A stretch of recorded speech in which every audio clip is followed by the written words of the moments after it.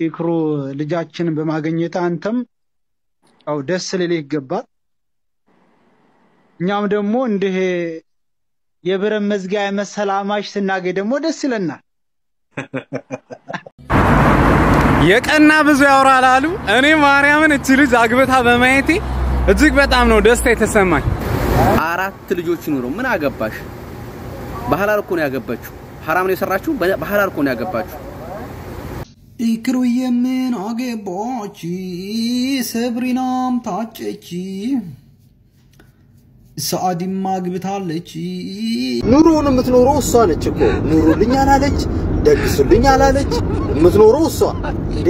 እኔ በጣም ግርም ወደ ርዕሱ ስገባ ወንድ ልጅ ሁለተኛ ሚስት ለማግባት ምንድን ነው የሚያነሳሳው የሚለውን በዝርዝር የባለቤቴ የባሌ ባለቤት ያለችው ልጅ አፌ ላይ አትማብኝ ሄደች እንዴ እሷ ዘመዶቼም ጠሉኝ፣ እኔም ጠላኋቸው። ያጣ ሰው አገኝ እየመሰላቸው ያጣ አገኝና ኢክሩ ልጃችንን በማግኘት አንተም ያው ደስ ልልህ ይገባል። እኛም ደግሞ እንዲህ የብረት መዝጊያ የመሰለ አማች ስናገኝ ደግሞ ደስ ይለናል።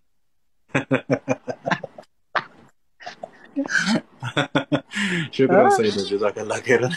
አይደለም እንዴ? እሷ- እሷም እኮ ትብሳለች ልጃችሁ። አዎ አዎ፣ እሷም እሷም ጎበዝ ናት። ያው እንግዲህ አንተም ደግሞ ማሻላ ብያለሁ።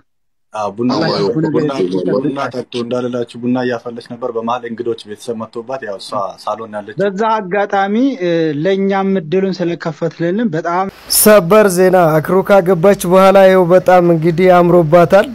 ብዙ ወሬ ሲወራላት እንዳውም ስሟ በጣም ሲጠራ አይ ስሟ መጠራቱ በነገራችን ላይ እንዳውም famous እንድትሆን አደረጋት። በዛ ላይ ደግሞ በትዳሯ በእልህ እንድትጠና ነው ያደረጋችኋት። ስለዚህ የወንዶች አስተያየት ነው part two ነው ላይ ነው ያለ ነው። እስቲ ወንዶች ምን እያሉ ነው የሚለውን እስተ መጨረሻ ተከታተሉ። የቀና ብዙ ያወራል አሉ። እኔ ማርያምን እቺ ልጅ አግብታ በማየቴ እጅግ በጣም ነው ደስታ የተሰማኝ። ከወራቶች በፊት ካስታወሳችኋት እቺ ልጅ በሀዘን ቁርምት ብላ በዛ ሀዘኗ ሰዓት እንኳን ብዙዎች ይሰድቧት ነበረ። ዛሬ የደስታ ቀኗ ነው፣ የሰርጓ ቀን ነውና እንኳን ደስ አለሽ እንኳን በሉ። እኔም ግን ቀንቻለሁ፣ ቀንተናል ብዙዎቻችን። ኢክሩዬ ምን አገባች? ሰብሪናም ታጨች። ሰአዲም አግብታለች። ኢክሩዬም አገባች። ሰብሪናም ታጨች። የኡመር ቢጤ ቁመሽን የቀረሽው ሁላ አንቺ የኔ ቢጤ ትቦጭቃለሽ። ይልቅ ፈለግ ፈለግ አድርገሽ ለምን አታገቢም? ትዳር ጥሩ ነገር ነው፣ ጥሩ ነገር ነው።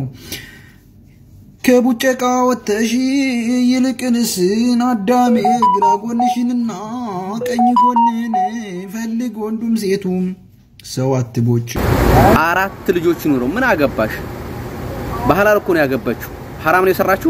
በሐላል እኮ ነው ያገባችሁ። ምን ችግር አለው? እምነታችን ይፈቅዳል። ምን ችግር አለው? ምንድነው ችግሩ? ከወደደችና ከፈቀደችና አቅሙ ከቻለ እሷ ደግሞ ሶስተኛ ትድረዋለች። ምን አገባችሁ እናንተ የምታበጨብጡት? ምድር አበጭባጭ ማለት ነው። ልጆች ኑረው ሚስት ኑረው አምናበት ወዳ ተነጋግረው ነው ያገባት አይደል? ነው እናንተ አሁን የሱ ሚስጥር ማውጣታችሁ ነው ነውስ በእሷ ቀንጣችሁ ነው?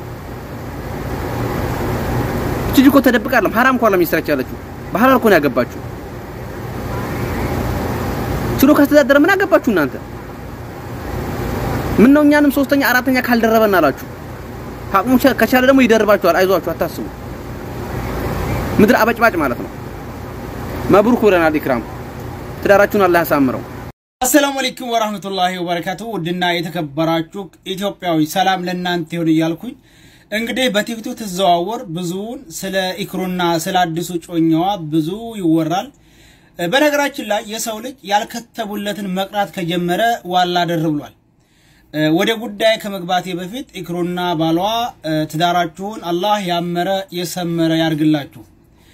ወደ ርዕሱ ስገባ ወንድ ልጅ ሁለተኛ ሚስት ለማግባት ምንድን ነው የሚያነሳሳው የሚለውን በዝርዝር አስቀምጥላችኋለሁ።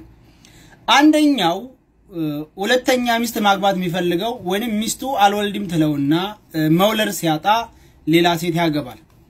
ሁለተኛው ጎኑ ጥሩ ይሆንና ሁለት ሚስት ማስተዳደር እችላለሁኝ ኢኮኖሚ አለኝ ብሎ ሁለት ሚስት ለቅንጦታ የሚሆን ለራሱ ፍላጎት ኢኮኖሚ ካለው ችግር ስለሌለ በእስልምናም የተፈቀደ እስ- እስከሆነ እስከ አራት ድረስ በዛ መልኩ ያገባል ለሁለት ሁለት ለመያዝ።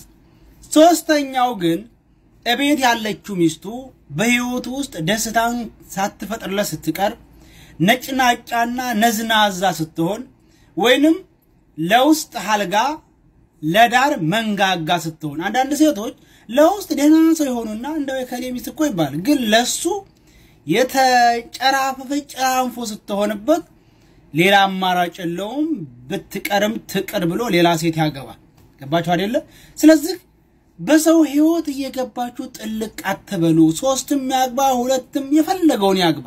ስለዛ እናንተን ኑ ይሄንን አድርጉልኝ እስካላላችሁ ድረስ ዝም ብላችሁ በሰው ተረገብታችሁ እንደዚህ ነው ሚስቱን እዛ ጥሮ ምናምን ምናምን የለም።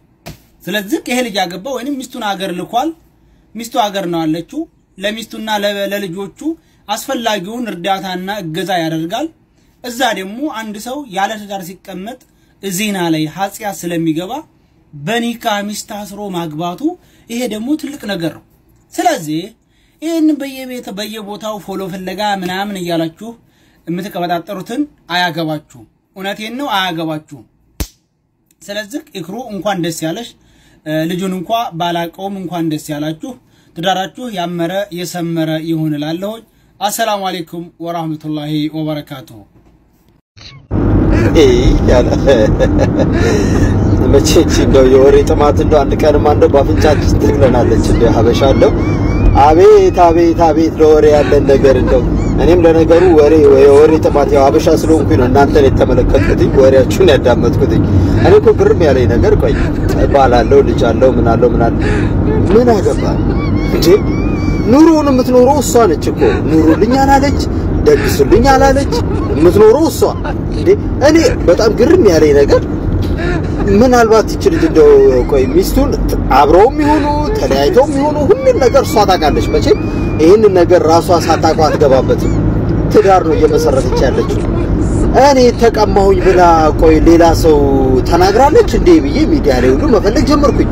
ባሌን ቀምታኝ ነው ወይ ብላ ምናምን ነገር የለም። እኔ ላገኝም አልቻልኩኝም። እንዴ ሚስትየዋ እንደዛ ሚስት ነች አለችም ካላችሁ ወይም የተፋታችም ከሆነች እሷ ያልተናገረችውን እኛ ምን ቤት ነን ምን አገባ እንዴ? ኧረ ጀምረን እንደው ምን አገባን? ቆይ እንዴ እኛ እንኖርላት አትሊስት እኔ ቢያንስ ብቃወማት እዚህ ጋር ይሆን እንደዚህ እንደዚህ ነው ብዬ ሂስ ባቀርብ በእምነት ያኳያ ከክርስትና እንደዚህ አይነት ስለማይፈቀድ ምናልባት በእኔ እንደው ደስ ይላል። እንደዛ እንኳን ብል ራሱ እንኳን ኢክሩ ያው እስልምና ነው እምነቷም አይ ቲንክ እስከ ሶስት ድረስ እሱ አቅሙ ከፈቀደለት እስከ ሶስት ድረስም የማግባት እንትን አለው። ጠይብ ሚስትየዋ ከተስማማችስ እንደው ሚስትም ቢኖረው ማለት ነው ከተስማማች እምነቷ ከፈቀደላት ምን አገባችሁ? እንደው የወሬ ጥማት ካልሆነ በስተቀር አሁን እንደው ምን አገባችሁ? ቅናት ነው እናቴ ትሙት ቅናት ነው ይሄ እልም ያለ ቅናት። ምክንያቱም ሰርጉን አይቼው በጣም ተመችቶኛል። ደስ ይላል፣ ያምራል። በጣም የሚያምር ፕሮግራም ነበር የተካሄደው። እንዴ ሰርግማ ይሄንን በሉ እንጂ አለ እንጂ የሳውዲውንም ሰርግ ብለናል እኮ በየቤቱ የሚደረገውን ሰርግ። እውነት እውነት አሁን እንደው እንደው ሰው መቦጨቅ ካልሆነ እውነቱ እናውራ ከተባለስ እንደው በየጓዳ አሁን አዳሚ ስንት ጉድ አለሽ፣ ስንት ጉድ አለሽ። እሷማ ስለምትኮራበት አደባባይ አወጣችሁ። አደባባይ ይኸው በሰርጋ በስርዓቱ ህጋዊ በሆነ መልኩ እንደዚህ አይነት መልኩ ፕሮግራሙን አካሄደኝ። ስንቶቻችሁ ናችሁ በየቤት ውስጥ ስንቱን ጉድ አናውቅም እንዴ? የሰው ባል ፓርታይም እያጫወታችሁ እንትን ምትሉ ስንት ኧረ ተው ተው። የራሳችሁን ኃጢአትማ ይዛችሁ ራሳችሁን ደብቃችሁ ሰውን መተቸት አይነፋም አይነፋም። ይሄ የወሬ ጥማታችን አንድ ቀንማ በአፍንጫችን ይተክረናል። የምር አንድ ቀን በአፍንጫችንማ ይተክረናል በእርግጠኝነት። ይሄ የቅናት መንፈስ ነው። ለማንኛውም ኢክሩዬ እንኳን ደስ ያለሽ በድጋሚ መልካም የትዳር ዘመን ይሁንልሽ። በነገራችን ላይ ማንም ሰው ቢሆን ስለ ራሱ ህይወት ራሱ ነው የሚያውቀው። እናንተ አትኖሩለት። እናንተ አወራችሁ አላወራችሁም ከዛ ሰው ላይ የሚጨመር የሚቀነስ የለም። ወሬያችሁን ያዳመጥኩት እኔ እኮ ግርም ያለኝ ነገር ቆይ አለው ልጅ አለው ምን አለው አሁን ማን ይሙት ከዚህ በላይ አሁን የወሬ ሱስ አለ የወሬ ጥማት ከዚህ በላይ አለ አሁን እኔ የምለው ግን ያቺ ልጅ የባሌ ባል ያለችው እንዴት ነበር ያለች የባሌ ባለቤት ያለችው ልጅ አፌ ላይ አተማብኝ ሄደች እንዴ? እሷ ልጅ ይሄ የባለቤቴ ባል የሚለው መንፈስ ራሱ ወጋውት ወጋውት። ከዚህ በላይ ምን የወሬ ጥማት አለ? ምን የወሬ ጥማት አለ? ባል እስከ እኔ ፈጣሪ ያለ እውነት በቃ እኔማ አሁንን አበሻ አይደለን እንዴ? ግድ ነው የወሬ ጥማት። እሱማ ይደፋናል ብያለሁኝ። አንድ ቀንማ ይደፋናል ባፍንጫችን እመኑኝ ይደፋናል እኔም በመጨረሻ የማስተላልፈው ነገር እንግዲህ ሴቶች እንዳሉት የወንዶች ቁጥር አንሰዋል፣ የሴቶች ቁጥር ስለበዛ አንድ ወንድ ለሶስት ለሁለት ይፈቀዳል ብለዋል። ይህንን አምናችሁ ተቀበሉ። እንግዲህ ምንም ማድረግ አይቻልም። እኔ የምምለው አንድ ሰው ሙስሊም ከሆነ እስከ አራት ይፈቅዳል። ማስተዳደር ከቻለ ሁላቸውንም ሳይጎዳ ሁለታቸውንም ፍቅር በመስጠት ማስተዳደር ይችላል። ተፈቅዷል በሚለው ፈርም ያለው ቻፓ ተመቷል። እሺ